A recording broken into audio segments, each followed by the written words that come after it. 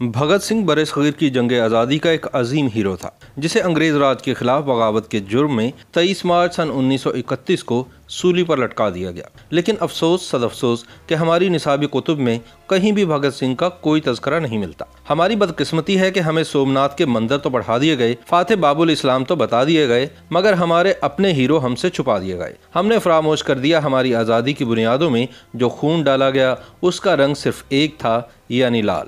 اس خون کا کوئی مذہب، عقیدہ یا مسلک نہیں تھا۔ وہ آزادی جس کا کریڈٹ ہم سب صرف اپنی اپنی پسند کے لوگ اور اپنی اپنی ذات کے بزرگوں کو دیتے ہیں، اس میں ایک بہت بڑی قربانی اس بہادر نوجوان کی بھی تھی جس کا نام بھگت سنگھ تھا۔ جس عمر میں آج کے بچے اسمارٹ فون پہ یا تو شدید نفرت یا پھر شدید محبت کو تلاش کرتے ہیں، یہ لڑکا بغاوت کے وہ طریقے دنیا کو سکھا رہا تھا جس سے اس کی دھرتی کو غلامی اور تزلیل سے نجات مل جائے۔ بھگت سنگھ کے دو کارنامے بڑے مشہور ہیں۔ بھگت سنگھ اور اس کے ساتھیوں راج گرو سکھدیو وغیرہ نے انگریز سرکار کے خلاف جنگ میں ان کے ایک ساتھی کے قاتل انگریز پولیس افسر جان پی سینڈرز کا قتل کر دیا۔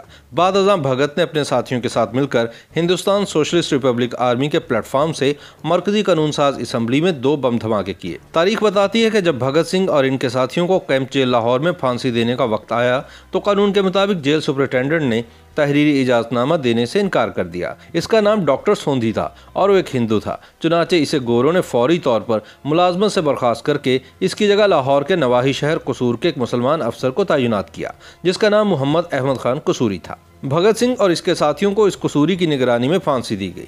تاریخ کی ستم ظریفی دیکھیے کہ دہائیوں بعد اسی شادمان چوک میں نواب محمد احمد خان کو گولی مار کر قتل کیا گیا اور پھر اس قتل میں ضیاء سرکار نے ذوالفقار علی بھٹو شہید کو پھانسی دے دی۔ تیئیس مارچ سن انیس سو اکتیس کو پھانسی کا پھندا چومتے وقت بھگت سنگھ صرف تیئیس برس کا تھا، مگر سامراج کے لیے ناقابل برداشت خطرہ بن چکا تھا۔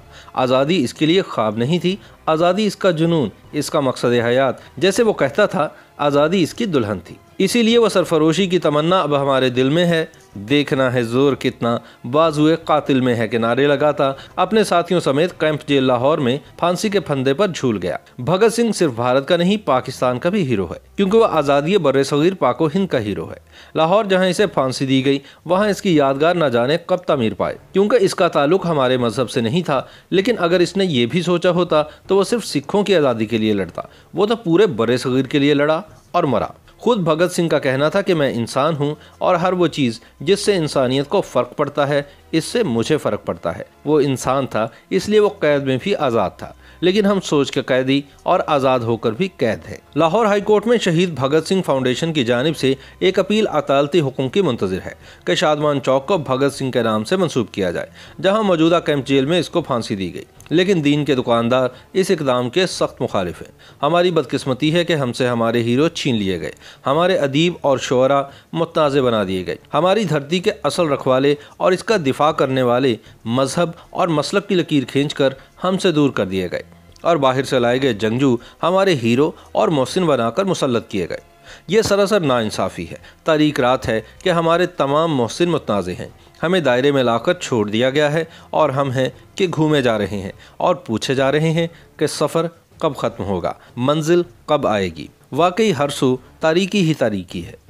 یوٹیوب پر گوگلی نیوز دیکھنے کے لیے یوٹیوب ڈاٹ کام کی سرچ بار میں googly news T V type کریں۔ گوگلی نیوز کے پیج پر سرخ رنگ کے سبسکرپشن والے بٹن پر کلک کرنا نہ بھولیے۔ یوٹیوب پیج پر اپلوڈ ہونے والی ویڈیوز سے باخبر رہنے کے لیے بیل آئکن پر کلک کیجیے۔ آپ کو ہر نئی ویڈیو کے بارے میں نوٹیفیکیشن موصول ہو جائے گا۔